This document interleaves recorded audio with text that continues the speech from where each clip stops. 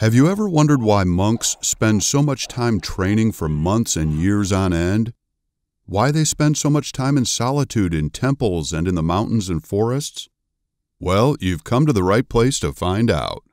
Shaolin monks spend their entire lives training and improving to be able to hone in and master almost superhuman abilities. We are going to go through the brutal training they go through and what crazy abilities they gain along the way. Shaolin monks can perform incredible feats of mental and physical prowess that appear impossible. They bang their heads against each other to harden their skulls and punch trees with their fingers to develop immense strength, which enables them to do a handstand on just two fingers.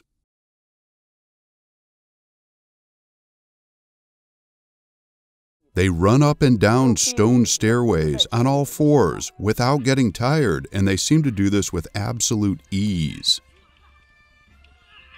So, how do they do it? To be able to do a handstand on just two fingers, monks spend years practicing and strengthening their fingers. The reason behind the Shaolin monks' incredible finger strength is their intense training. They train for years to make their fingers as hard as iron they start by finger punching bowls filled with dirt and gradually move on to the level where they punch thick trees and actually make holes in them that are as deep as five inches. Imagine being so strong that you can make holes in trees.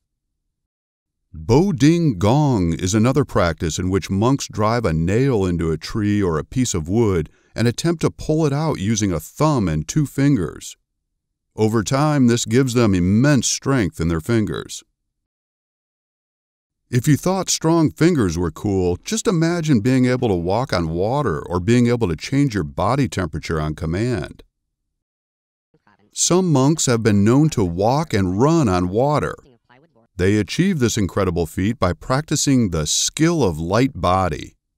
This intense training regime starts off by making young monks walk along the rim of a water filled bowl while wearing a backpack.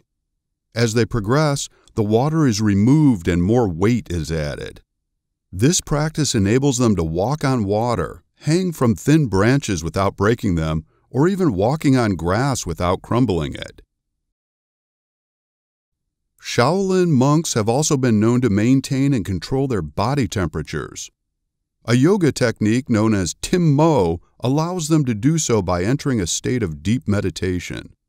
Monks have been known to stay warm in chilling temperatures in the Himalayas.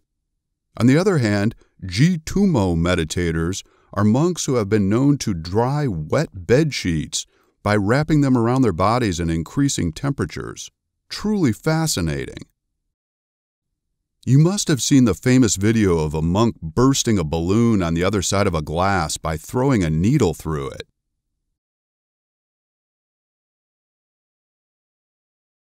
The key to this exercise is striking the glass directly with the needle's point at a quick speed and as close to a 90 degree angle as possible.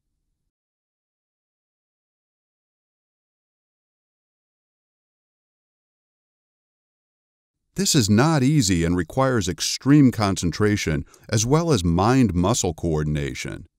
Yet, the monks make it look so easy. They throw needles through glass so precisely that only a hole big enough for the needle to pass is created without shattering the glass. Along with all these crazy capabilities, Shaolin monks also have superhuman strength, amazing flexibility, and an extremely high threshold for pain.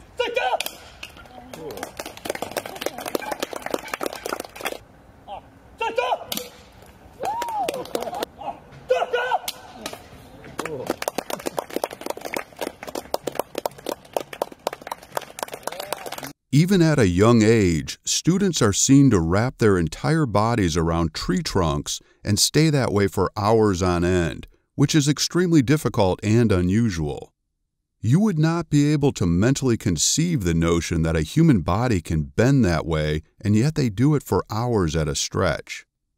Monks spend their entire lives undergoing mental, chan, and physical quan training. They learn how to control an energy force known as qi through meditation. It takes discipline and awareness to embody this concept. Through this, they are able to phase out pain entirely. Monks are the masters of meditation, and they achieve such levels that they can even stop feeling pain. Monks have been seen walking on coal and fire, casually sitting in boiling water,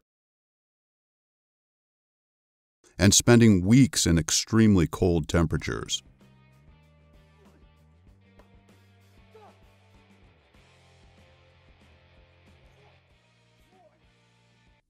They are not just strong from the inside, monks also spend years hardening their exteriors.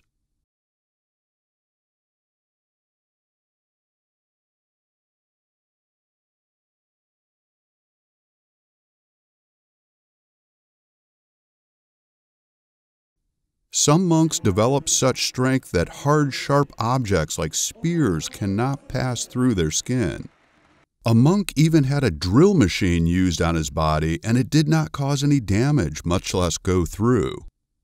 Shaolin monks train to make their private parts resistant to impact from kicks or knee butts.